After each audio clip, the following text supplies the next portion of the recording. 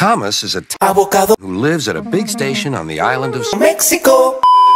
He's a cheeky little Avocado. with six small, Avocado. short, stumpy, Avocado. a short, stumpy, Avocado. and a short, stumpy. Avocados from Mexico.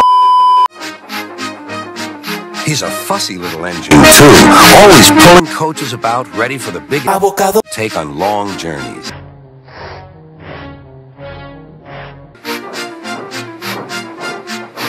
And when trains come in, he pulls including Gordon, the biggest and proudest engine of all.